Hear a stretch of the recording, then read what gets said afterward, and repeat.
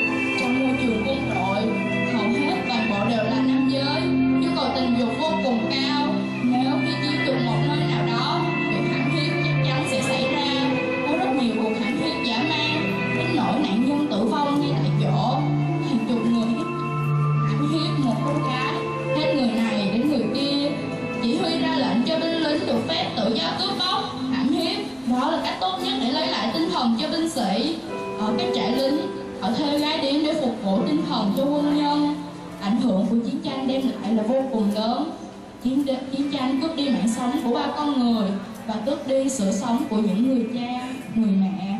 Thử nghĩ mà xem, khi ấy những đứa con thơ sẽ ở đâu hay lưu lạc khắp chốn? Số lượng trẻ em mồ côi là vô cùng lớn. Có bé may mắn, được các chài trẻ mồ côi nuôi dưỡng. Nhưng hãy nhìn vào gương mặt non nớt và ngây thơ ấy. Các em còn quá nhỏ để chịu đựng những cảnh tượng này.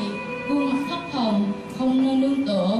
Đến cả miếng cơm ít ỏi cũng phải chia đôi thân xác gầy gò bị thiếu chất đến mức chỉ còn da một xương ngủ ngoài đường lấy trời làm màn lấy đất làm chiếu dẫn bù cho chúng ta những người sống ở đây có lẽ đã quá ấm no mà lại không biết trân trọng hãy nhìn vào bức ảnh em bé Naivan Kim Phúc là cô bé trần truồng cùng một số trẻ em Việt vừa khóc vừa chạy sau khi bom Naivan dọn xuống.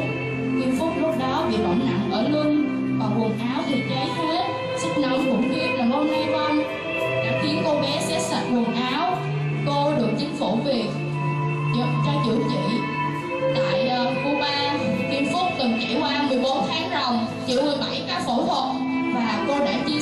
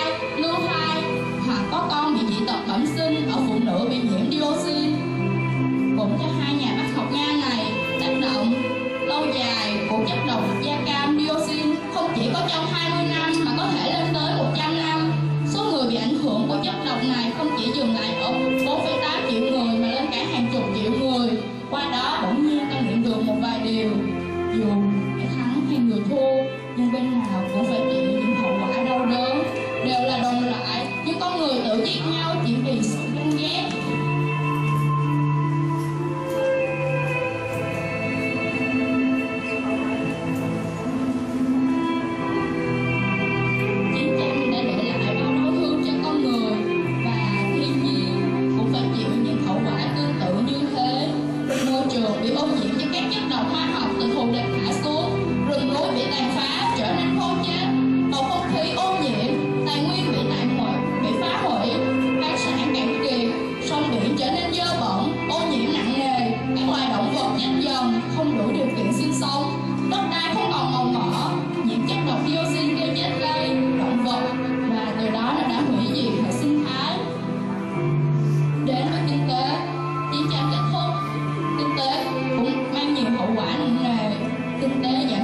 Sụp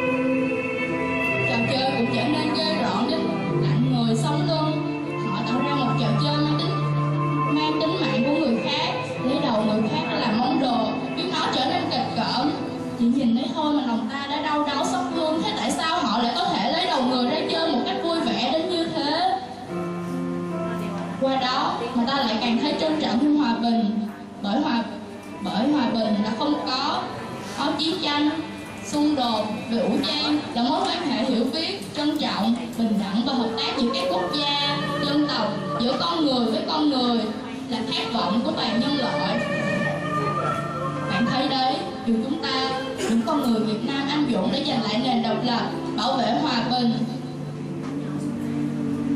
của dân tộc, nhưng khi chiến tranh qua đi để lại hậu quả đau đớn về mọi mặt, hậu quả về con người, về thiên nhiên, về kinh tế hội.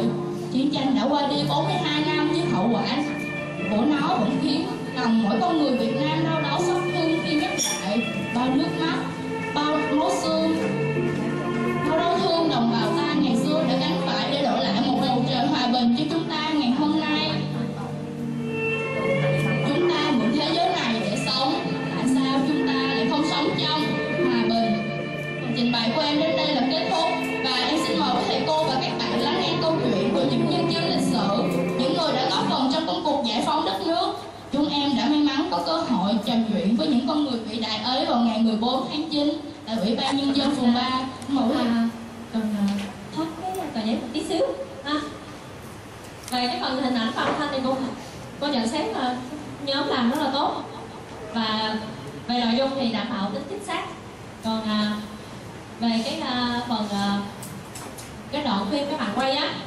thì ờ, ở phía ờ, phía sau thì cô sợ là quý thầy cô ờ, không có nhìn thấy được.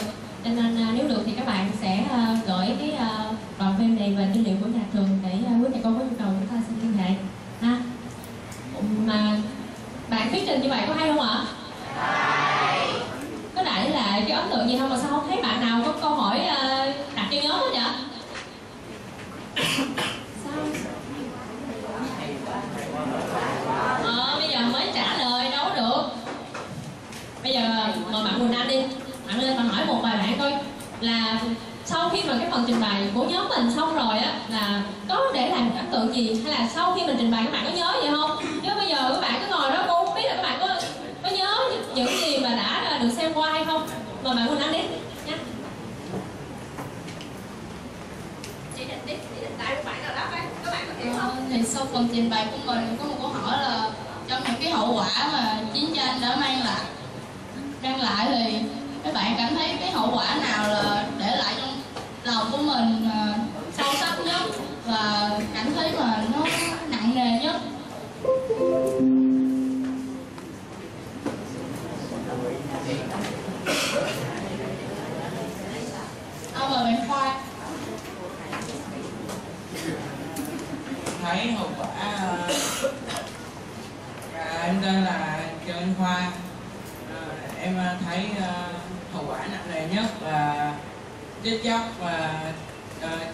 cam là hai hậu quả nặng nề nhất Cảm ơn phần ờ, trả lời của bạn. Còn Có bạn nào có ý kiến khác không? Ờ, mời bạn Đỗ Huy. Mình thấy là hậu quả nghiêm trọng nhất là những cái hậu quả đối với trẻ em Sau đây em xin đại diện cho nhóm 2 Thuyết trình về phần chuẩn bị của nhóm em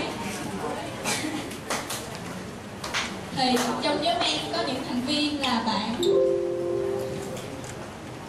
Bạn Đoàn Vĩnh Huy, nhóm trưởng Tôi, Nguyễn Lê Bảo Trân, Nguyễn Viết trình Bạn Trần Minh Huy, bạn Hồ Duy Phương, bạn Phạm Ngọc Minh Thơ, bạn Trần Ngọc Minh Thơ, bạn Nguyễn Hoàng Linh, bạn Nguyễn Thành Nguyên, bạn Nguyễn Trường Quốc Bảo, bạn Trần Thiên Thanh và bạn Phan Ngọc Thanh Phương. Như các bạn đã biết, cuộc sống chúng ta đã từng tồn tại và chiến tranh giờ chúng ta lại sống trong một cuộc sống hòa bình. Vậy chúng ta cần phải làm gì để bảo vệ hòa bình và ngăn chặn chiến tranh? Để biết được những việc làm cụ thể thì chúng ta phải biết được hòa bình và chiến tranh đối lập nhau như thế nào thì từ đó chúng ta sẽ có những việc làm thiết thực. Và sau đây chúng ta sẽ vào phần 1 sự đối lập giữa hòa bình và chiến tranh.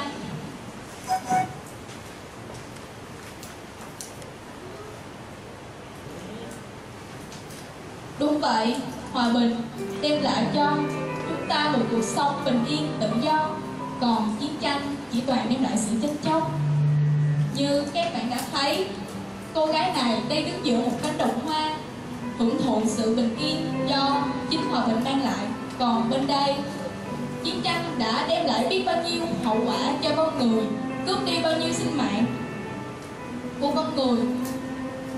Còn đúng vậy hòa bình giúp nhân dân được ấm no, hạnh phúc và cùng xây dựng đất nước. Và ngược lại đó, chiến tranh lại làm cho nhân dân đói nghèo, bệnh tật không được học hành bất mát đây là hình ảnh cho thấy được tất cả mọi người đang thả những chú chim bồ câu và những quả bông đầy màu sắc lên trời cao để cho thấy được sự hạnh phúc của mình khi đang sống trong một thế giới hòa bình. Còn bên đây, những trẻ em không có nhà ở, không có sữa để uống và không có đồ để ăn và tiếp đó hòa bình và mở rộng thêm cho loài người chính là thành phố, đàn mạc nhà máy, nơi mà con người có thể ở và làm việc. Về hòa bình thì những thành phố, đàn mạc, nhà máy đó sẽ được phát triển, còn bên chiến tranh, những nơi đó sẽ bị phá nát nặng nề. Đây, thành phố khi buổi tối lên đèn, những cây xanh chen chúc nhau cùng những tòa nhà cao tầng làm thêm nét đẹp của thành phố chúng ta. Còn bên đây là bức ảnh những tòa nhà cao tầng bị sụp đổ, phá nát và những cây cối bị trơ trụi nặng nề. Và tiếp đó, tất nhiên hòa bình chính là khát vọng của loài người, còn chiến tranh chỉ là thảm họa của loài người mà thôi. Còn bên đây, những tòa nhà cao tầng bị phá nát, cây cối thì bị trơ trụi, còn những chiếc xe thì không còn những lớp vỏ. Vậy, theo các bạn tuổi trẻ chúng ta thì phải có những hành động thiết thực nào để bảo vệ hòa bình? Rồi chụp hình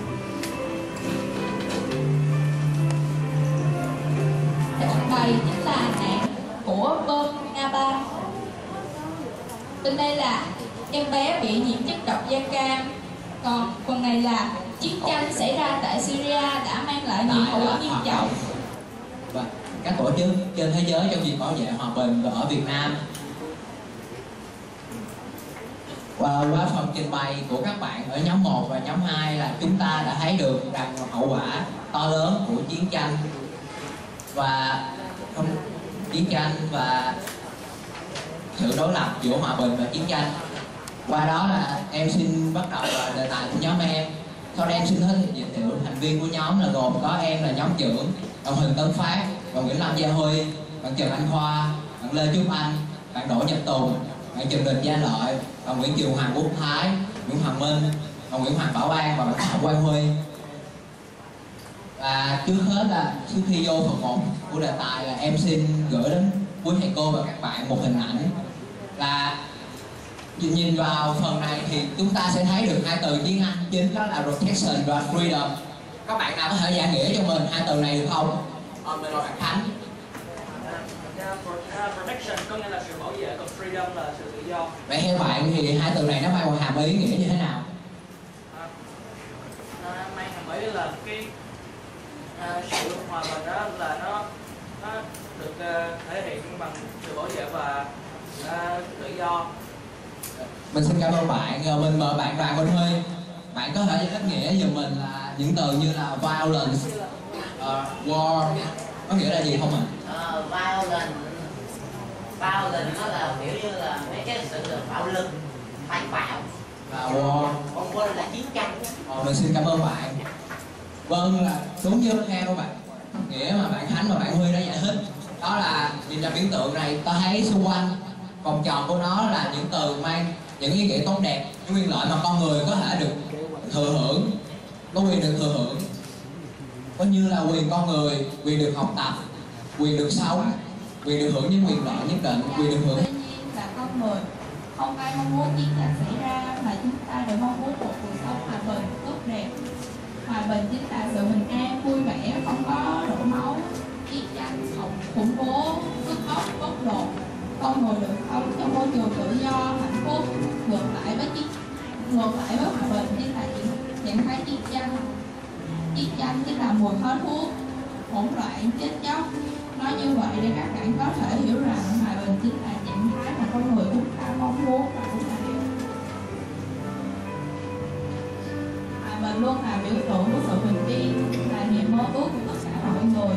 Chúng ta được sống trong một môi trường hòa bình ngày hôm nay dân tộc của chúng ta đã trải qua biết bao niềm đau thương. Rồi những cuộc chiến tranh dạ, lịch sử đặc biệt là hai cuộc chiến tranh gần đây nhất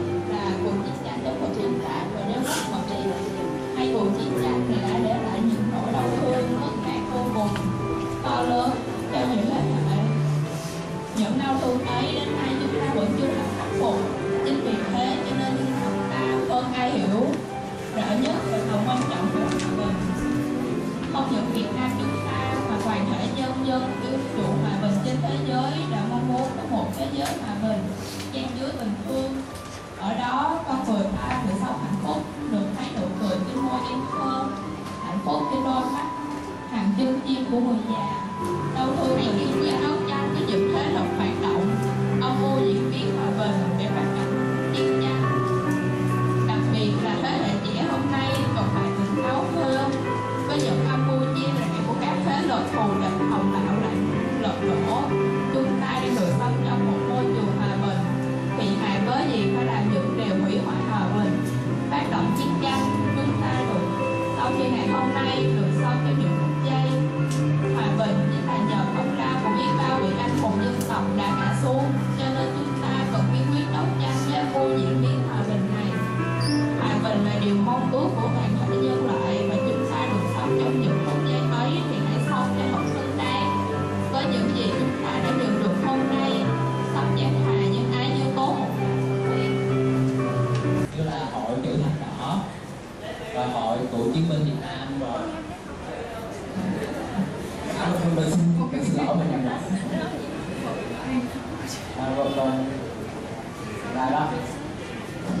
聊。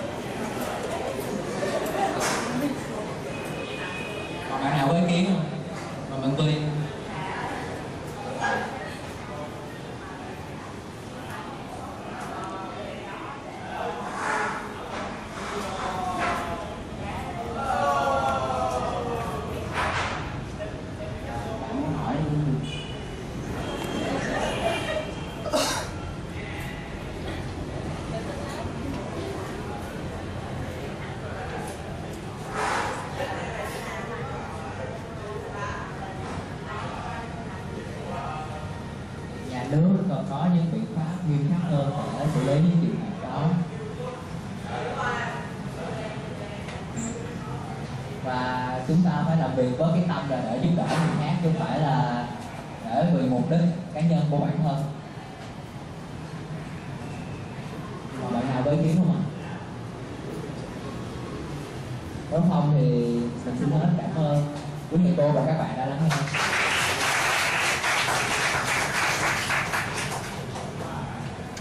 Con của mình cảm ơn phần trình bày của nhóm ba. Và xin, tiếp theo xin mời cô Thảo Nguyên lên nhận xét và công ty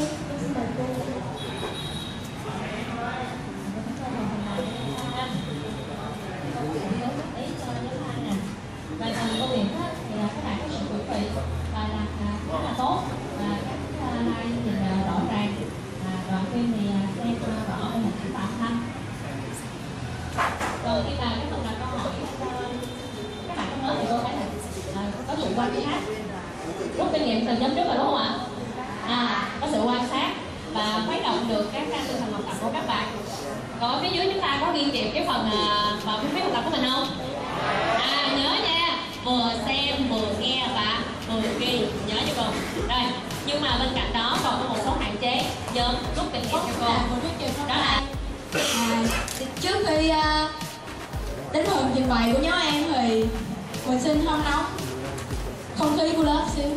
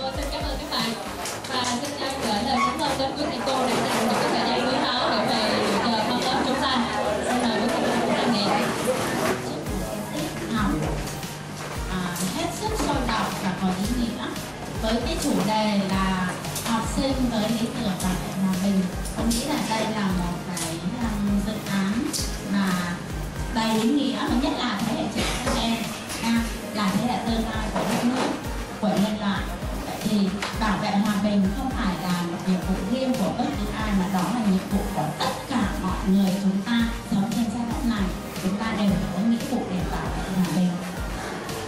À, về cái tiết học ngày hôm nay thì đây là một cái dự án mà ngay từ đầu năm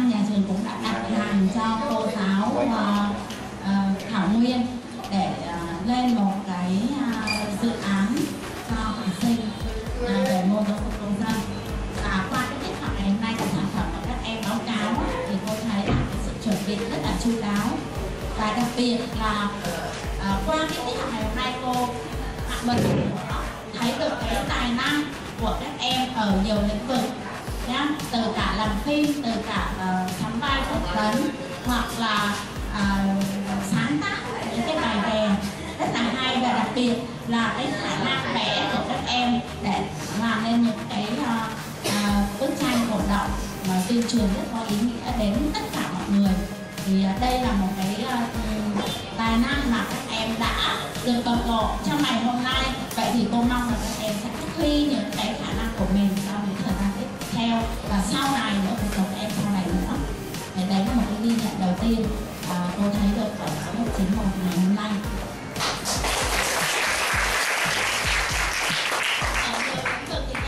Các em thể hiện.